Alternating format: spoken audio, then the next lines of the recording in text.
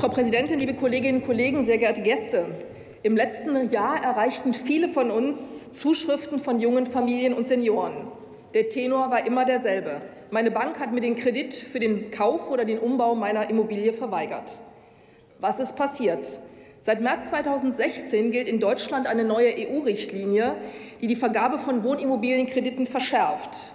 Die Richtlinie wurde in der EU als Reaktion auf die spanische Immobilienkrise beschlossen, die durch zahlreiche leichtfertig vergebene Kredite verursacht wurde. Banken müssen seither ihre Kreditnehmer vor Vertragsabschluss besser informieren. Außerdem wurden undurchsichtige Kopplungsgeschäfte, bei denen ein Darlehen nur in Verbindung mit anderen Finanzprodukten ausgegeben wurde, eingeschränkt. Diese Neuerungen waren gut und richtig und sie dienten dem Schutz der Verbraucherinnen und Verbraucher. Neben dem Wert der Immobilie müssen Banken andere Faktoren wie etwa das Einkommen des Kreditnehmers oder die Verschuldungsquote künftig verstärkt berücksichtigen. Leider hat die zu weitgehende Umsetzung des deutschen Rechts durch Bundesjustizminister Maas zur Folge, dass gerade Altersgruppen, das stimmt, dass gerade Altersgruppen mit weniger berechenbarem Einkommen zunehmend Schwierigkeiten hatten, einen Hauskredit zu bekommen. Und Herr Staatssekretär Kelber, wenn Sie sagen, das war ja alles so nicht gemeint, dann kann ich nur sagen, in einem Rechtsstaat ist es eigentlich üblich, dass man das, was man meint, ins Gesetz schreibt. Und ja, wir haben dem zugestimmt, wir haben einen Fehler gemacht und wir werden den Fehler korrigieren. Aber wir behaupten nicht, dass das, was bisher geregelt war, richtig ist. Dann bräuchten wir das Gesetzgebungsverfahren nicht.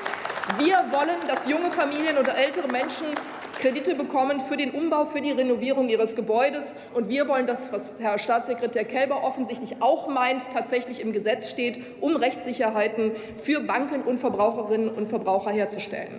Und wir sind ähnlich wie Herr Dr. Schick auch noch nicht zufrieden mit diesem Gesetz. Wir glauben nämlich, dass auch in diesem Gesetz Anschlussfinanzierungen geregelt werden müssen. Es kann nicht sein, dass dann, wenn eine Anschlussfinanzierung ansteht, falls es zu einer Krise käme, wir diese Krise verschärfen, indem bei Anschlussfinanzierungen Veräußerungen notwendig sind. Also auch da haben wir erheblichen Diskussionsbedarf. Dafür dient ja dieses Gesetzgebungsverfahren. Wir stehen ja heute erst am Anfang. Was ist der zweite Teil des Gesetzes. Der Teil, der dem Gesetz den Namen gibt. Der Ausschuss für Finanzstabilität, dem auch BaFin und Bundesbank angehören, ist der Meinung, dass es Handlungsbedarf gibt hinsichtlich der Aufsicht, falls es theoretisch irgendwann zu einer Immobilienkrise kommen könnte. Um es deutlich zu sagen, weder die Bundesbank noch die BaFin sehen aktuell eine solche Krise. Beide empfehlen aber, Instrumente einzuführen, bevor eine schwierige Situation wirklich akut wird. Herr Staatssekretär Meister hat das mit dem Feuerwehrknopf eben dargestellt. Ich teile diese Auffassung, dass wir Instrumente haben müssen, bevor eine Krise ernst wird, weil wir auch intensiv darüber beraten müssen, wie solche Instrumente aussehen können. Die BaFin soll handlungsfähig gemacht werden und neue zielgenaue Instrumente zum Kampf bzw. Bewältigung einer eventuellen Immobilienkrise zu bekommen. Und die BaFin soll Kreditgebern bestimmte Mindeststandards für die Vergabe von Neukrediten für den Erwerb oder den Bau von Wohnimmobilien vorgeben dürfen.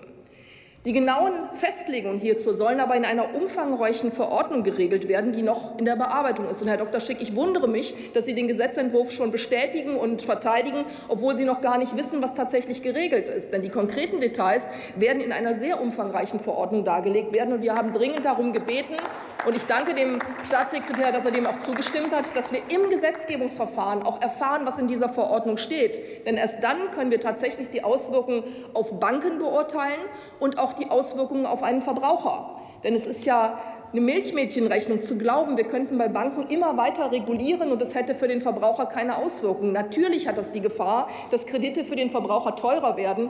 Deshalb ist es wichtig, dass wir uns genau ansehen, was in dieser Verordnung steht. Aus meiner Sicht muss in dieser Verordnung geregelt sein, was ein normaler, vernünftiger Kaufmann sowieso tun würde. Und deshalb sind auch nicht alle Banken der Meinung, dass dieses Gesetzgebungsverfahren für sie schwierig ist. Ein verantwortungsbewusster Banker würde in einer Krise natürlich darauf reagieren. Und wir müssen sicherstellen, dass alle Banker sich so verantwortungsbewusst verhalten.